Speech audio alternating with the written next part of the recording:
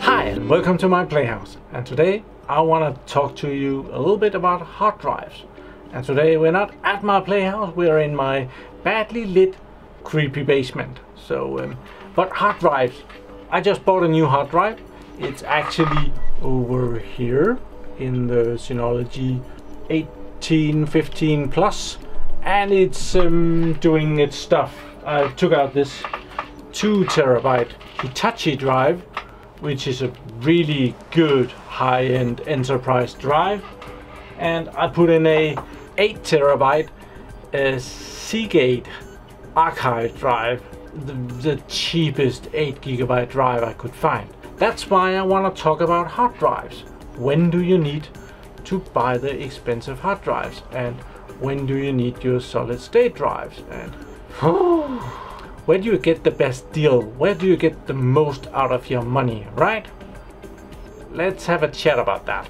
But first, I really want to show you this, this Synology box that I have. Um, right now, I put in this 7.28 terabytes. It's really an 8 terabyte, but you know, they kind of eats a little bit every time. And I wasn't expecting this uh, to give me any additional space on on the Synology box because it kind of uses the biggest disk as security. But when I went in to put this in and said that it could repair it actually told me that um, then I would be getting 23 terabytes which is um, 23 point something terabytes which is a couple of terabytes better than what I have now. Right now I have 22 terabytes available with the SHR security one disk fault tolerance. But apparently even though it's only one disk that I'm putting in I'm still getting about 2 terabyte more of storage space.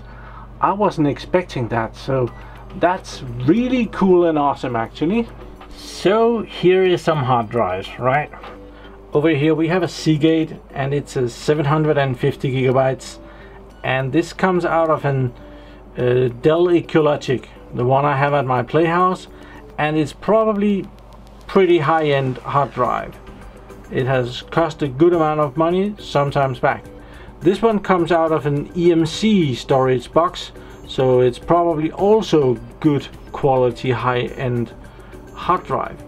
And this one is some cheap Western Digital that I bought way back.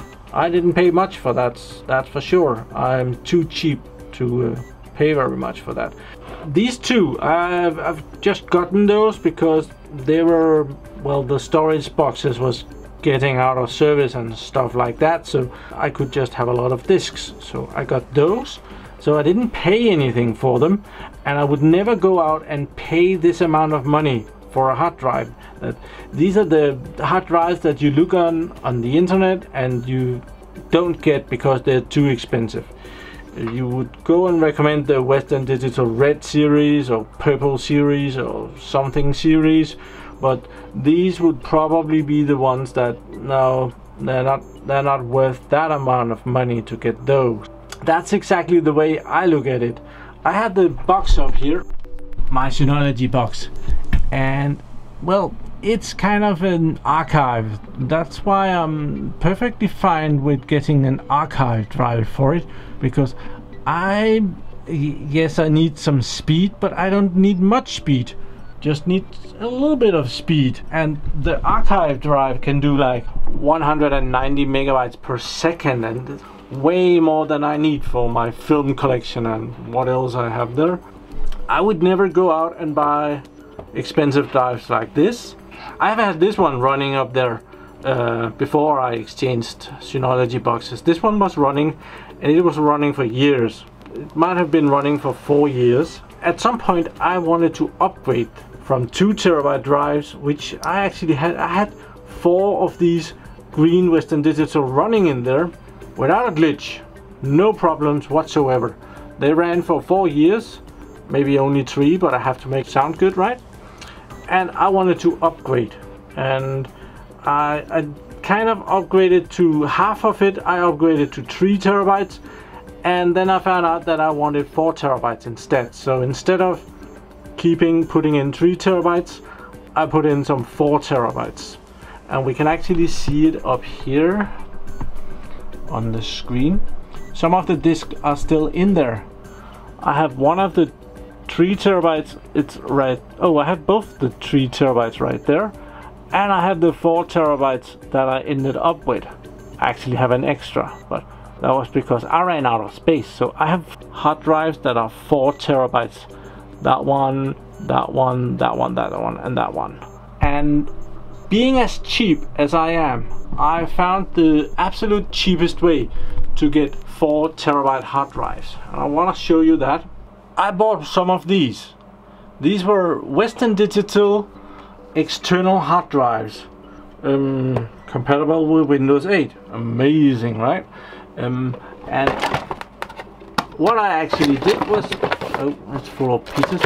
I got these and I just took them apart and took out the hard drive and put those in my NAS box. And well might not be the best thing but well they ran for at least three years I'm sure. When did I get this? Oh is there a date somewhere? That could be. Nothing. Well there's two years warranty.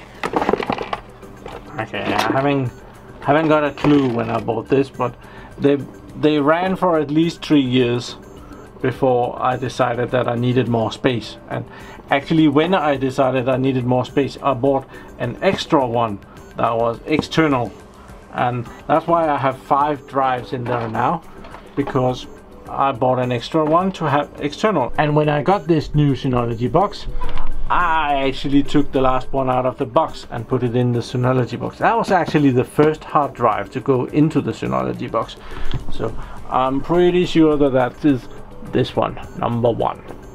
That's how um, how that worked actually. The problem with hard drives is that you know in three or four years if it was a good hard drive. The Western Digital Green Line here, a lot of people don't like these because they have been failing but I ran them for four years and I didn't have any issues. So for me I wouldn't exactly recommend it. There's too many people saying otherwise but well I didn't have an issue. This one is still kind of good do I have a Western Digital? No, I don't have a Western Digital running. I have one at my playhouse. I have a 3 terabyte Western Digital Green Line running in my Synology box at my playhouse. And that is working out fine. This one, I can't remember how it's doing, but well, um, with all the people saying that these are bad, I'm not gonna be putting it into anything serious production just because too many people are saying they are bad. Even though I haven't had any of the four that I was running go bad on me. But this was a really neat trick actually because I got the external box and I got the hard drive and I saved a couple of hundred Danish crowns. That what is that? That's that's about thirty dollars uh, saved by just taking out the hard drive. It might be that the hard drive inside of here they don't have a lot of cache memory and stuff, but they worked fine. They're still working fine. So those are the four terabyte drives that I'm actually running most of my NAS box with still if you don't need maximum performance and when do you really need maximum performance you need kind of only need maximum performance when you're copying huge amount of data and you want that to go as fast as possible if time is not that important you can go with cheaper stuff and um, just remember to have a bit of security and be ready to go out and buy a new drive if something fails. You don't want no security running on your NAS box, but well, that's about my little hard drive rant for now. So um, thank you very much for watching my videos. Do subscribe to my channel so that you can see me again. And I just want to end this video with a little bit, I have a new stuff. Uh, can we see this? Yeah, I have a dead cat on my camera right there. I just got that. If you um, have subscribed to my Google Plus, well, you would know that because I posted that last week. So um, go subscribe to my Google Plus and have a nice day. Bye bye.